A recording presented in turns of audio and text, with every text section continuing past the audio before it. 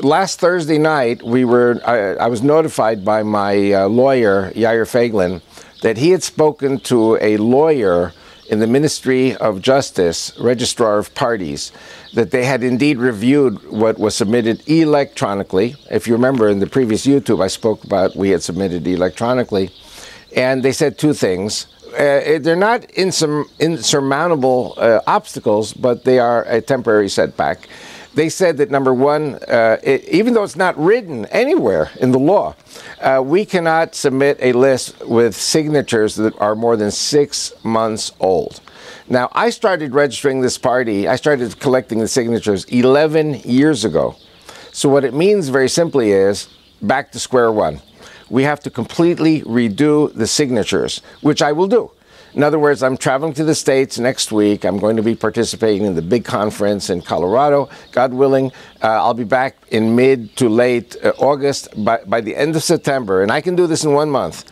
Call all the people who signed up for the party uh, one of the things we have to do is have a conference. It has to be, I don't want to say televised, but it has to be officially recorded that we had this founders meeting.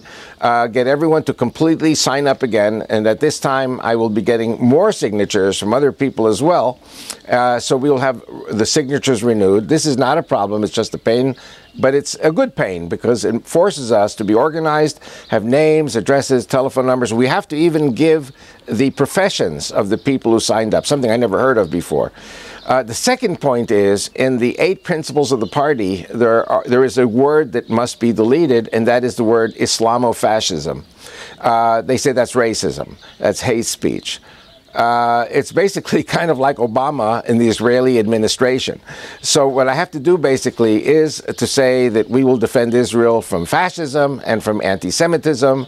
Uh, and just not say the word Islam. But uh, to anyone who has brains, eyes to see, and ears to hear, uh, people will understand who the real enemy is and I thank all of you who have supported the party until now.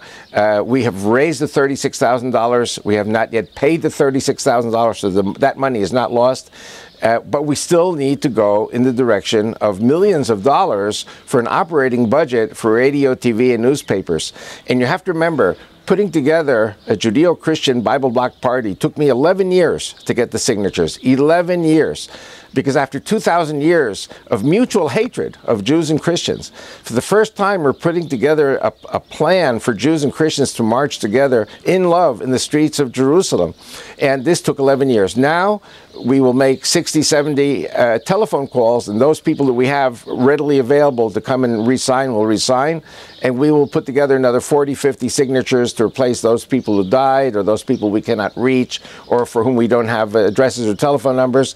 Uh, we will have, with the second submission of signatures, 120 instead of 110. Uh, this time I think it's going to be, I think, I pray to God and I'm confident it'll be successful.